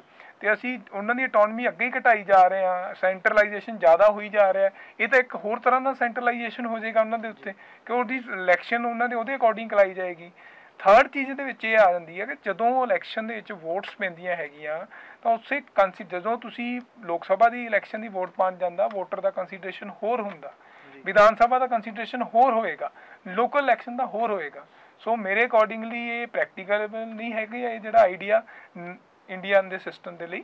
ਠੀਕ ਹੈ ਨਹੀਂ ਹੈਗਾ ਪ੍ਰੋਫੈਸਰ ਸਾਹਿਬ ਜਿੱਦਾਂ ਕਿ ਚੋਣਾਂ ਹੁੰਦੀਆਂ ਨੇ ਤਾਂ ਇਸ ਵਾਰ ਚੋਣਾਂ ਦੇ ਵਿੱਚ ਪਾਰਟੀਆਂ ਵੱਲੋਂ ਇੱਕ ਰਿਪੋਰਟ ਦੇ ਮੁਤਾਬਕ ਪਾਰਟੀਆਂ ਵੱਲੋਂ ਆਪਣਾ 80% ਫੰਡ ਹੈ ਜਿਹੜਾ ਉਹ ਸੋਸ਼ਲ ਮੀਡੀਆ ਦੇ ਪ੍ਰਚਾਰ ਉੱਤੇ ਖਰਚ ਕੀਤਾ ਜਾ ਰਿਹਾ ਹੈ। ਕੀ ਸੋਸ਼ਲ ਮੀਡੀਆ ਲੋਕ ਰਾਏ ਬਣਾਉਣ ਦੇ ਵਿੱਚ ਲੋਕਾਂ ਦੀ ਮਦਦ ਕਰੇਗਾ? ਕਿਉਂਕਿ ਸੋਸ਼ਲ ਮੀਡੀਆ ਤੇ ਵੀ ਇਹ ਆਰੋਪ ਲੱਗਦੇ ਰਹਿੰਦੇ ਨੇ ਕਿ ਉੱਥੇ ਉੱਤੇ ਬਹੁਤ ਝੂਠੀਆਂ ਅਤੇ ਅਫਵਾਹਾਂ ਫੈਲਦੀਆਂ ਰਹਿੰਦੀਆਂ ਨੇ। ਕੀ ਇਹ ਸਹੀ ਆ ਉਹਨਾਂ ਦਾ 80% ਫੰਡ ਪ੍ਰਚਾਰ ਦਾ ਸੋਸ਼ਲ ਮੀਡੀਆ ਤੇ ਖਰਚ ਕਰਨਾ? ਆਪਾਂ ਜਿਸ ਤਰ੍ਹਾਂ ਪਹਿਲਾਂ ਗੱਲ ਕਰ ਰਹੇ ਸੀ ਨਾ ਪਬਲਿਕ ਓਪੀਨੀਅਨ ਬਿਲਡ ਕਰਨ ਦੀ। ਜੀ। Social media public opinion change ਕਰਨ ਵਿੱਚ ਬੜੀ ਵੱਡੀ ਭੂਮਿਕਾ ਨਿਭਾਉਂਦਾ। ਹੈ ਜੀ। ਉਹਦਾ ਕਾਰਨ ਇਹ ਹੈ ਕਿਉਂਕਿ ਅੱਜ ਕੱਲ ਸਾਨੂੰ ਡਾਟਾ ਬਹੁਤ ਜ਼ਿਆਦਾ ਮਿਲ ਰਿਹਾ ਉਹ ਯੂਟਿਲਾਈਜ਼ ਕਿੱਥੇ ਹੋ ਰਿਹਾ ਸੋਸ਼ਲ ਨੈਟਵਰਕਿੰਗ ਸਾਈਟਸ ਤੇ। ਤੇ ਸੋਸ਼ਲ ਨੈਟਵਰਕਿੰਗ ਸਾਈਟਸ ਤੇ ਪਿਕਚਰਸ ਵੀਡੀਓਜ਼ ਪਤਾ ਨਹੀਂ ਕਿੰਨਾ ਕੁਝ ਉੱਥੇ ਹੋ ਰਿਹਾ ਉੱਥੇ ਹੁਣ ਕੀ ਆ ਗਿਆ? ਪਹਿਲਾਂ ਹੁੰਦਾ ਸੀ ਇਨਫਾਰਮਲ ਕਿ ਜਿਹੜਾ ਸਾਨੂੰ ਡਾਟਾ ਘੱਟ ਮਿਲਦਾ ਸੀ ਤੇ ਆਪਾਂ ਇਨਫਾਰਮਲੀ ਮੈਸੇਜ ਕਰ ਲਿਆ ਜਾਂ ਕੁਝ ਹੋਰ ਕਰ ਲਿਆ। ਹੁਣ ਹੁੰਦਾ ਫਾਰਮਲ ਸਟਰਕਚਰ ਕ੍ਰੀਏਟ ਕੀਤੇ ਜਾ ਰਹੇ ਨੇ। ਹੁਣ 80% ਉਹ ਫੰਡ ਇਸ ਕਰਕੇ ਦਿੱਤਾ ਜਾ ਰਿਹਾ ਕਿਉਂਕਿ ਆਪਾਂ ਵੀਡੀਓਜ਼ ਆਪਣਾ ਜੋ ਵੀ ਆਡੀਓ ਕਾਲਸ ਬਹੁਤ ਕੁਝ ਆਪਾਂ ਜਿਹੜਾ ਉੱਥੇ ਯੂਜ਼ ਕਰ ਰਹੇ ਹਾਂ। ਭਲਾ ਕਿ ਇਹ ਅਗਰ ਆਪਾਂ ਇਹਦੀ ਹਿਸਟਰੀ ਦੇਖੀਏ, ਜਦੋਂ 2004 ਦੇ ਵਿੱਚ ਬਰਾਕ ਓਬਾਮਾ ਆਇਆ ਸੀ, ਉਹਨੇ ਪਹਿਲੀ ਵਾਰੀ ਇੱਕ ਮਤਲਬ ਇੱਕ ਚਾਹੇ ਚਾਹੇ ਕਹ ਲਓ ਐਕਸਪੈਰੀਮੈਂਟ ਕਹਿ ਲਓ, ਜਾਂ ਉਹਦੇ ਕਹਿ ਲਓ ਕਿ ਉਹਨੇ ਜਦੋਂ ਸੱਤਾ ਵਿੱਚ ਆਉਣਾ ਸੀ ਤੇ ਉਹਨੇ ਇਹਨੂੰ ਜੂਸ ਕਰਕੇ ਦੇਖਿਆ। ਉਹਨੇ ਸਪੈਸ਼ਲ ਇੱਕ ਸਾਈਟ ਬਣਾਈ ਆਪਣੇ ਨਾਮ ਤੇ, ਉਹਨੇ ਪ੍ਰਚਾਰ ਕੀਤਾ ਉਹ ਸਾਈਟ ਦੇ ਨਾਮ ਤੇ, ਆਪਣਾ ਜੋ ਵੀ ਉਹਦੇ ਆਈਡੀਆਜ਼ ਸੀ ਉਹਨੇ ਦੱਸੇ। ਤੇ ਉਹਨੂੰ ਲਗਾਤਾਰ ਦੋ ਵਾਰੀ ਰ- ਬਣੇ ਰਹਿਣ ਵਿੱਚ ਤੇ ਆਉਣ ਵਿੱਚ ਪ੍ਰੈਜ਼ੀਡੈਂਟ ਬਣਦੇ ਵਿੱਚ ਬੜੀ ਵੱਡੀ ਭੂਮਿਕਾ ਬਣਾਈ ਸੋਸ਼ਲ ਮੀਡੀਆ ਨੇ। ਉਸ ਤੋਂ ਬਾਅਦ ਉਹਦੇ ਵੱਲ ਵੇਖ ਕੇ, ਕਿਉਂਕਿ ਜਦੋਂ ਵੀ ਕਿਸੇ ਦੇਸ਼ ਦੀ ਹੁੰਦੀ ਹੈ ਤੇ ਜਿਹੜੇ ਜਿਨ੍ਹਾਂ ਦਾ ਕੰਮ ਹੈ ਲੋਕਾਂ ਤੱਕ, ਜਿਹੜੇ ਵੀ ਪਾਰਟੀ ਦੇ ਖਾਸ ਉਹ ਬੰਦੇ ਹੁੰਦੇ ਨੇ, ਜਿਨ੍ਹਾਂ ਨੇ ਕੰਮ ਕਰਨਾ, ਪ੍ਰਚਾਰ ਦਾ ਕੰਮ ਕਰਨਾ ਹੁੰਦਾ ਹੈ, ਤੇ ਉਹ ਇਹੋ ਜਿਹੀਆਂ ਚੀਜ਼ਾਂ ਨੂੰ ਬਹੁਤ ਗੌਰ 'ਚ ਰੱਖਦੇ ਨੇ। ਤੇ ਉਹਨਾਂ ਨੇ ਹੁਣ ਜਿੰਨੀਆਂ ਵੀ ਪਾਰਟੀਆਂ ਆਪਾਂ ਵੇਖ ਰਹੇ ਹਾਂ ਸੋਸ਼ਲ ਮੀਡੀਆ ਤੇ ਪੋਸਟਰ ਵੀ ਅੱਜ ਕੱਲ੍ਹ ਉੱਤੇ ਹੀ ਬਣ ਰਹੇ ਨੇ, ਕਿ ਪੋਸਟਰ ਉੱਤੇ ਸਾਰੇ ਆਈਡੀਆਜ਼ ਮੈਨੀਫੈਸਟੋ ਇਹ ਉਹਦੇ ਇਲੈਕਟ੍ਰੋਨਿਕਲੀ ਡਿਸੈਮੀਨੇਟ ਕੀਤੇ ਜਾ ਰਹੇ ਨੇ। ਤੇ ਪਰ ਇਹਦਾ ਦੂਸਰਾ ਪਾਸਾ ਇਹ ਆ ਕਿ ਸੋਸ਼ਲ ਮੀਡੀਆ ਤੇ ਮਿਸ ਇਨਫੋਰਮੇਸ਼ਨ ਡਿਸ ਇਨਫੋਰਮੇਸ਼ਨ ਬਹੁਤ ਆਉਂਦੀ ਹੈ। ਅਥੈਂਟਿਸਿਟੀ ਕੋਈ ਨਹੀਂ ਹੈ। ਉੱਤੇ ਆਪਾਂ ਕੀ ਆ ਲੋਕਾਂ ਨੂੰ ਗਲਤ ਇਨਫੋਰਮੇਸ਼ਨ ਵੀ ਦੇ ਸਕਦੇ ਹਾਂ। ਤੇ ਇਹ ਚੀਜ਼ਾਂ ਜਿਹੜੀਆਂ ਨੇ ਗੌਰ ਕਰਨ ਵਾਲੀਆਂ ਨੇ ਕਿ ਇਹ ਚੀਜ਼ਾਂ ਨੂੰ ਸਹੀ ਤਰੀਕੇ ਨਾਲ ਰੈਗੂਲੇਟ ਕੀਤਾ ਜਾਏ। ਕਿਉਂਕਿ ਉਹ ਵੀ ਇੱਕ ਸੋਸ਼ਲ ਮੀਡੀਆ ਨੂੰ ਇੱਕ ਦਾਇਰੇ ਦੇ ਵਿੱਚ ਲੈ ਕੇ ਆਉਣਾ ਦਾਇਰੇ 'ਚ ਲੈ ਕੇ ਆਉਣਾ ਚਾਹੀਦਾ ਹੈ। ਬੇਸ਼ੱਕ ਉਹ ਸਾਡਾ ਸਾਡਾ ਫਰੀडम ਵੀ ਹੈ ਕਿ ਆਪਾਂ ਜੋ ਕਹਿਣਾ ਚਾਹੀਏ ਉਹ ਕਹਿ ਸਕਦੇ ਹਾਂ। ਕੁਝ ਆਰਟੀਕਲ ਆਪਾਂ ਸੈਕਸ਼ਨ ਹਟਾਉਣੇ ਵੀ ਪਏ ਸਾਨੂੰ ਕਿਉਂਕਿ ਕਈਆਂ ਦੀ ਬੋਲਣ ਦੀ ਆਜ਼ਾਦੀ ਦੇ ਆੜੇ ਆਉਂਦੇ ਹੀ। ਤੇ ਪਰ ਇਹ ਹੈ ਕਿ ਮੈਨੂੰ ਲੱਗਦਾ ਹੈ ਕਿ ਜਿਹੜੀ ਕਿਉਂਕਿ ਅੱਜ ਕੱਲ੍ਹ ਲੋਕੀ ਬਹੁਤ ਜ਼ਿਆਦਾ ਪ੍ਰਭਾਵਿਤ ਹੋ ਰਹੇ ਨੇ ਇਹ ਮੀਡੀਆ ਤੋਂ। ਤੇ ਇਮਰਸਿਵ ਮੀਡੀਆ ਬਣਦਾ ਜਾ ਰਿਹਾ। ਕਿ ਇਮਰਸਿਵ ਹੋ ਕੇ ਮਤਲਬ ਹੁਣ ਡੋਬਰਦਾ ਜਾ ਰਿਹਾ ਆਪਣੇ ਵਿੱਚ। ਤੇ ਉਹ ਚੀਜ਼ ਨੂੰ ਰੋਕਣ ਵਾਸਤੇ ਮੈਨੂੰ ਲੱਗਦਾ ਹੈ ਤਾਂ ਕਿ ਜਿਹੜਾ ਸਾਡਾ ਦਿਮਾਗ ਆ, ਉਹ ਮਤਲਬ ਇੱਕ ਹੈਲਦੀ ਆਪਣੇ ਜਿਹੜਾ ਵੇ ਨਾਲ ਸੋਚੇ, ਉਹਦੇ ਵਾਸਤੇ ਇਹਨੂੰ ਰੈਗੂਲੇਟ ਕਰਨਾ ਬੜਾ ਜ਼ਰੂਰੀ ਹੈ। ਕਿ ਮਿਸ ਇਨਫੋਰਮੇਸ਼ਨ ਆਏ ਡਿਸ ਇਨਫੋਰਮੇਸ਼ਨ ਆਏ, ਉਹੀ ਚੀਜ਼ ਨੂੰ ਰੋਕਣ ਵਾਸਤੇ ਜਿਹੜਾ ਹੈ ਉਹ ਕੋਈ ਨਾ ਕੋਈ ਇਹੋ ਜਿਹਾ ਡੀ ਪਾਲਿਸੀ ਜਾਂ ਇਹੋ ਜਿਹਾ ਕੋਈ ਰੂਲ ਬਣਾਇਆ ਜਾਏ ਕਿ ਉਹ ਲੋਕੀ ਜੋ ਵੀ ਰਾਜਨੀਤਿਕ ਪਾਰਟੀਆਂ ਇਹੋ ਕੰਮ ਨਾ ਕਰਨ। ਮੇਰਾ ਆਖਰੀ ਸਵਾਲ, ਅਮਨਜੋਤ ਸਿੰਘ, ਤੁਹਾਡੇ ਤੋਂ ਹੈ ਕਿ ਨੌਜਵਾਨਾਂ ਦੇ ਮੁੱਦਿਆਂ ਨੂੰ ਵਾਕਿਆ ਹੀ ਸਾਡੀ ਪਾਰਟੀਆਂ ਤਰਜੀਹ ਦੇ ਰਹੀਆਂ ਨੇ ਜਾਂ ਉਹਨਾਂ ਦੇ ਮੁੱਦਿਆਂ ਨੂੰ ਹਜੇ ਵੀ ਅਣਗੌਲਿਆਂ ਕੀਤਾ ਜਾ ਰਿਹਾ। ਜਿਹੜੇ ਨੌਜਵਾਨਾਂ ਦੇ ਮੁੱਦਿਆਂ ਦੀ ਗੱਲ ਕਰੀ ਤਾਂ ਨੌਜਵਾਨਾਂ ਦੇ ਮੁੱਦੇ ਸਾਡੀ ਸਿਆਸੀ ਪਾਰਟੀਆਂ ਇਹ ਸਿਰਫ ਨੋ- ਵੋਟਾਂ ਦੇ ਵਿੱਚ ਹੀ ਉਠਾਉਂਦੀਆਂ ਨੇ ਤੇ ਬਾਅਦ ਦੇ ਵਿੱਚ ਇਹ ਭੁੱਲ ਜਾਂਦੀਆਂ ਨੇ। ਪਹਿਲਾਂ ਨੌਜਵਾਨਾਂ ਨੂੰ ਰੋਜ਼ਗਾਰ ਕਿਉਂਕਿ ਨੌਜਵਾਨਾਂ ਨੂੰ ਰੋਜ਼ਗਾਰ ਦੀ ਲੋੜ ਹੁੰਦੀ ਆ। ਹੋਰ ਕੁਛ ਨਹੀਂ ਵੀ ਇੱਕ ਨੌਕਰੀ ਵਧੀਆ ਜੀ ਨੌਕਰੀ ਮਿਲ ਜਾਵੇ ਬਸ ਤੇ ਉਸ ਤੋਂ ਬਾਅਦ ਆਪਾਂ ਵਧੀਆ ਲਾਈਫ ਆਪਣੀ ਕਰਾਂਗੇ ਗੁਜ਼ਾਰਾਂਗੇ ਤੇ ਤੋਂ ਬਾਅਦ ਇਹ ਨੌਜਵਾਨਾਂ ਨੂੰ ਕਿਆ ਕਰਦੀਆਂ ਸਿਆਸੀ ਪਾਰਟੀਆਂ ਜਿਹੜੀਆਂ ਕਿ ਵਰਤਦੀਆਂ ਉਸ। ਉਹਨਾਂ ਨੂੰ ਭੜਕਾਉਂਦੀਆਂ ਨੇ ਜਾਂ ਆਪਣੇ ਮਗਰ ਲਾਉਂਦੀਆਂ ਨੇ। ਕਈ ਵੱਖ-ਵੱਖ ਤਰ੍ਹਾਂ ਦੇ ਲਾਲਚ ਮਿਲਦੇ ਆ ਨੌਜਵਾਨਾਂ ਨੂੰ। ਤੇ ਉਹਨਾਂ ਨੂੰ ਇਹ ਮਗਰ ਲਾ ਲੈਂਦੇ ਆ ਆਪਣੇ। ਤੇ ਇੱਕ ਤਰ੍ਹਾਂ ਦਾ ਮਗਰ ਲਾ ਕੇ ਉਹਨਾਂ ਤੋਂ ਆਪਣੀਆਂ ਵੋਟਾਂ ਹਾਸਲ ਕਰ ਲੈਂਦੇ ਨੇ ਤੇ ਬਾਅਦ 'ਚ ਇਹ ਭੁੱਲ ਜਾਂਦੇ ਨੇ। ਤੇ ਇਸ ਦੇ ਵਿੱਚ ਨੌ- ਨੌਜਵਾਨਾਂ ਨੂੰ ਮੈਂ ਤਾਂ ਕਹਿੰਦਾ ਚਾਹੀਦਾ ਕਿ ਇਹ ਇਹਨਾਂ ਨੂੰ ਚੰਗੀ ਤਰ੍ਹਾਂ ਪਰਖਣ। ਦੇਖਣ ਵੀ ਸਾਡੀ ਕਿਹੜੀ ਪਾਰਟੀ ਜਾਂ ਕਿਹੜਾ ਉਮੀਦਵਾਰ ਸਾਡੀ ਉਮੀਦਾਂ ਤੇ ਖਰਾ ਉਤਰ ਰਿਹਾ ਹੈ। ਤਾਂ ਵੀ ਕਿਹੜਾ ਸਾਡੇ ਵਾਅਦੇ ਪੂਰੇ ਕਰੂਗਾ ਵੀ ਸਾਡੀਆਂ ਵੀ ਸਾਡੇ ਕੋਲ ਚੱਲ ਕੇ ਆ ਰਿਹਾ ਹੈ। ਪਾ ਸਿਆਸੀ ਪਾਰਟੀ ਨੂੰ ਚਾਹੀਦਾ ਵੀ ਨੌਜਵਾਨਾਂ ਦੇ ਕੋਲ ਅਪੀਲ ਕਰੇ ਵੀ ਤੁਹਾਡੇ ਕਿਹੜੇ ਮੁੱਦੇ ਨੇ। ਜੀ। ਵੀ ਕਿਆ ਤੁਹਾਡੀ ਸਮੱਸਿਆਵਾਂ ਨੇ ਵੀ ਅਸੀਂ ਮੈਨੀਫੈਸਟੋ ਦੇ ਵਿੱਚ ਜਾਰੀ ਕਰਾਂਗੇ। ਤੁਸੀਂ ਸਾਨੂੰ ਆਪਣੀਆਂ ਮੁਸ਼ਕਲਾਂ ਦੱਸੋ ਫੀਡਬੈਕ ਦੱਸੋ। ਵੀ ਅਸੀਂ ਰਿਪਲਾਈ ਕਰਾਂਗੇ ਤੁਹਾਡਾ। ਜੀ। ਇਹਦੇ ਵਿੱਚ ਨੌਜਵਾਨਾਂ ਨੂੰ ਵੀ ਚਾਹੀਦਾ ਵੀ ਉਹ ਆਪਣਾ ਇਹਨਾਂ ਦੇ ਕੋਲ ਜਾ ਕੇ ਮੁੱਦੇ ਉਠਾਉਣ, ਜਿਵੇਂ ਇਹਨਾਂ ਦੇ ਕੋਲ ਲੀਡਰ ਕੋਈ ਵੋਟ ਮੰਗਣ ਆਂਦਾ ਹੈ, ਕਿਉਂਕਿ ਸ- ਨੌਜਵਾਨਾਂ ਦੇ ਕੋਲੇ ਸਭ ਤੋਂ ਪਹਿਲਾਂ ਆਉਂਦੇ ਹੁੰਦੇ ਆ। ਤੇ ਇਹਨਾਂ ਦੇ ਕੋਲ ਜਾ ਕੇ ਪਹਿਲਾਂ ਨੌਜਵਾਨ ਇਹਨਾਂ ਕੋਲ ਜਾ ਕੇ ਆਪਣੇ ਮੁੱਦੇ ਉਠਾਉਣ ਵੀ ਸਾਡੀਆਂ ਇਹ ਸਮੱਸਿਆਵਾਂ ਜੀ, ਜੇ ਤੁਸੀਂ ਸਾਨੂੰ ਇਹ ਪੂਰੀਆਂ ਕਰਕੇ ਦਵੋਗੇ, ਵਾਅਦੇ ਪੂਰੇ ਕਰੋਗੇ, ਤਾਂ ਅਸੀਂ ਤੁਹਾਨੂੰ ਵੋਟ ਪਾਵਾਂਗੇ। ਬਹੁਤ ਬਹੁਤ ਧੰਨਵਾਦ ਜੀ ਤੁਸੀਂ ਸਾਡੇ ਸਟੂਡੀਓ ਦੇ ਵਿੱਚ ਆਏ ਤੇ ਆਪਣੇ ਵਡਮੁੱਲੇ ਵਿਚਾਰ ਸਾਡੇ ਨਾਲ ਸਾਂਝੇ ਕੀਤੇ। ਦੋਸਤੋ, ਇਹ ਸਨ ਸਾਡੇ ਵਿਸ਼ਾ ਮਾਹਿਰਾਂ ਦੇ ਵਿਚਾਰ। ਮੈਂ ਉਮੀਦ ਕਰਦਾ ਹਾਂ ਕਿ ਤੁਹਾਨੂੰ ਬਹੁਤ ਵੱਡੀ ਵਡਮੁੱਲੀ ਜਾਣਕਾਰੀ ਇਹਨਾਂ ਪਾਸੋਂ ਪ੍ਰਾਪਤ ਹੋਈ ਹੋਵੇਗੀ ਅਤੇ ਹੁਣ ਦੇਖਣਾ ਇਹ ਹੋਵੇਗਾ ਕਿ ਸਾਡੇ ਦੇਸ਼ ਦੇ ਪ੍ਰਧਾਨ ਮੰਤਰੀ ਦਾ ਸਿਹਰਾ ਜਨਤਾ ਕਿਸ ਦੇ ਸਿਰ ਸਜਾਉਂਦੀ ਹੈ। ਦੁਨੀਆ ਦੇ ਸਭ ਤੋਂ ਵੱਡੇ ਲੋਕਤੰਤਰ ਭਾਰਤ ਦਾ ਆਗੂ ਕੌਣ ਬਣਦਾ ਏ? ਅਗਲੀ ਵਾਰ ਫੇਰ ਹਾਜ਼ਰ ਹੋਵਾਂਗੇ ਇੱਕ ਨਵਾਂ ਮੁੱਦਾ ਲੈ ਕੇ। ਤਦ ਤੱਕ ਦੇ ਲਈ ਮੈਨੂੰ ਮਨਦੀਪ ਸਿੰਘ ਨੂੰ ਦਿਓ ਇਜਾਜ਼ਤ। ਧੰਨਵਾਦ।